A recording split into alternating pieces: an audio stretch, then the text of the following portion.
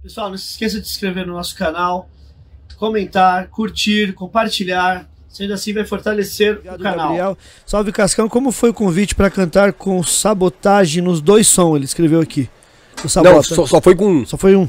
No, no, no álbum mesmo, Rap é, Compromisso. Né? São Paulo, Brasil, Capão Redondo, da ponte pra cá, o ano é 2000. Vida longa aos bandidos beneficente e desbaratinado, humildade aos lock inconsequentes. Que é esses moleque hoje que rouba todo mundo.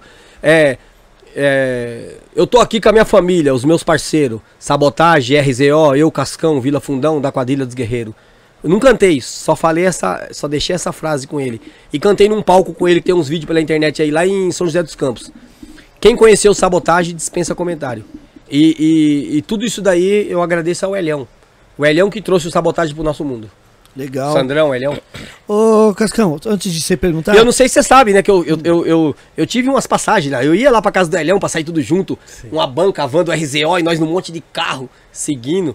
Eu, eu posso me, me considerar um privilegiado, né, Eric J? Sim, sim. Todos os caras me chamou pra me ajudar, cara. Que loucura.